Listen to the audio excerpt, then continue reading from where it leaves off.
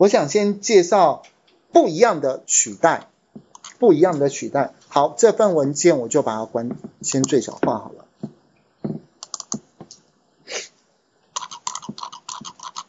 您看一下哦，在这里面，在这里面，我们是不是有这个符号？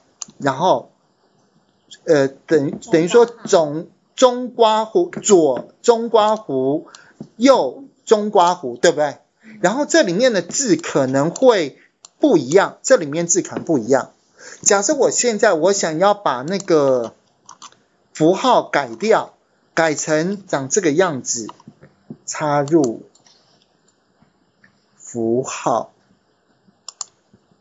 我想要改成这样子，就是这个改成这个符号，然后这个改成这个符号。好，知道我在讲什么哦。好，那请问你哦，这边是不是有一堆这个符号？你是不是就会又用一招复制贴上？复制，然后贴到这个地方 贴上，然后复制它，然后贴到这个地方贴上，对吧？千万别用这一招，你用这一招的话，到时候。到时候什么样式那些什么全全部都不对，然后你就会，反正就只能讲一句话：我没有功劳也有苦劳。我们这个时代没有人要你疲劳，疲劳都是自找的。好，我们现在来继续来观看怎么做。要学一个呃小 paper，你们都知道万用符号是新字号吗？就是这里面这个档案我要留下来，新增我要留下来。好，那我们来看看怎么做，怎么做？这一定要用取代来常用底下这个取代，然后接下来寻找的内容，我要寻找寻找的内容哦，我要因为我要等于说把这个左中刮弧换掉，所以我前面要加一个提取字源。提取，这是左上到右下，左上到右下，不是加减乘除的除号，是左上到右下。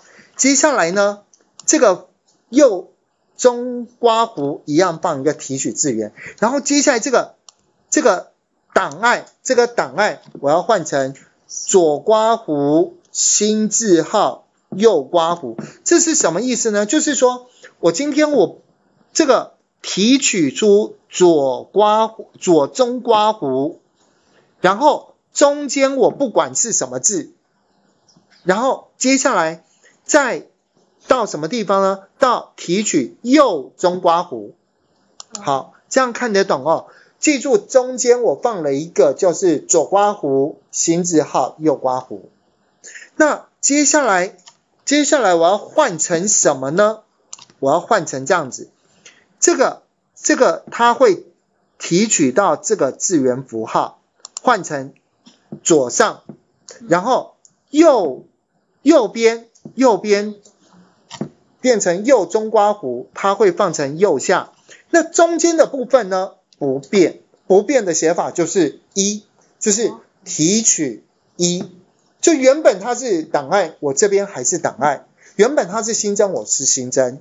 可是请注意哦。这个符号，这个左中刮弧，它就会换成这一个了。好，来全部取代。他说：“哎，七十，没有，等下全部取代。好，在这边有一个更多，更多要告诉他使用万用字源，这一定要打勾，就是说这里面。”这里面这个新字号是万用字源。刚刚在找什么呢？刚刚在找那个就是左刮弧新字号右刮弧，因为他认为那是加减乘除的乘。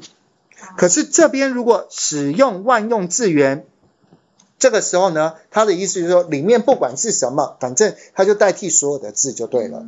好，点卷全部取代，你看总共取代了一百九十九。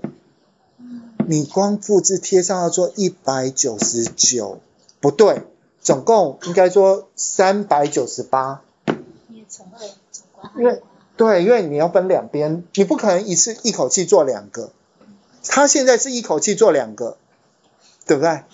然后他做了一百九十九次的复制贴上，得两倍，等于说人工要做要做三百九十八次，哇！有没有觉得这一招很棒？你看全部都改了，全部都改了。这个样式，你看刚刚那个样式是不对的，它这样一改，它不会动到这个样式。我觉得这样方式是蛮不错的。这个取代值得你们好好的去运用。当你今天要做那个两边符号要做修改，但中间字可能会换的时候，